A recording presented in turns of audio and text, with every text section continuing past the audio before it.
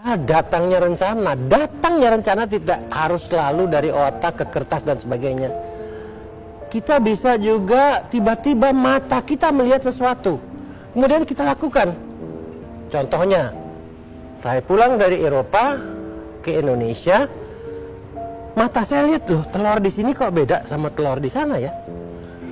Secara spontan saya ambil secari kertas, nulis surat sama teman-teman, eh tolong dong kirimin ayam-ayam yang bisa bertelur tanpa saya tahu ayam apa itu. Tapi bedanya di Eropa, majalah-majalah kejuruan itu banyak sekali. Kemudian dengan bersama-sama Anda kirim anak-anak ayam, tolong kirimkan majalah kejuruan, majalah tentang memelihara ayam.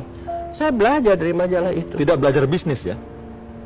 Ah, untuk apa sih? Dik? Jual telur mesti belajar bisnis tuh.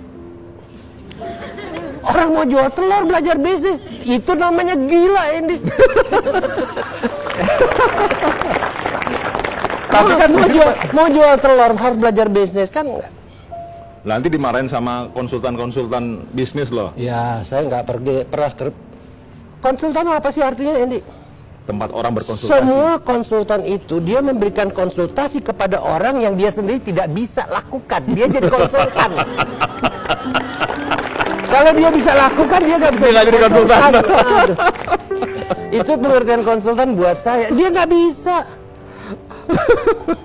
Apakah juga sebuah kecelakaan kalau misalkan sebelumnya Pak Bob pernah menjadi karyawan Unilever, kemudian pernah menjadi karyawan sebuah pelayaran, sempat tinggal di luar negeri bertahun-tahun, dan kadang jualan ayam.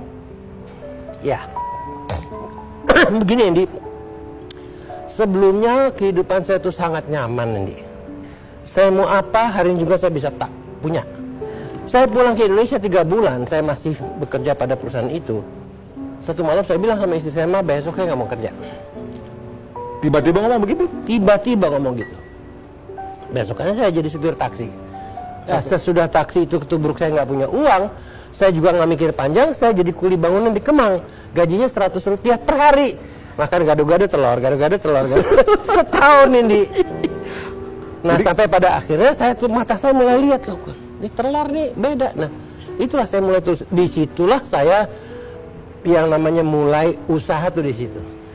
Keluar telur 5 kilo, istri bawa 2 kilo, saya bawa 3 kilo, dia ke kiri ke kanan ngetuk rumah pintu orang di Kemang. Pintu diketuk. Tidak ada satupun orang Indonesia yang mau beli telur saya. Eh telur ayam saya.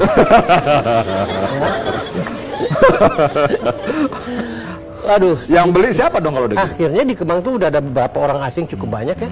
Begitu ketok pintu rumah orang asing, udah dia langsung beli. Nah di situlah awal sebetulnya